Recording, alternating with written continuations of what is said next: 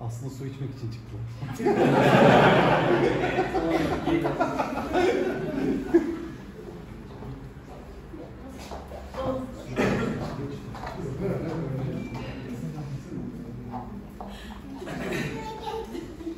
tamam. o da beğenmiş. Bir sonraki şov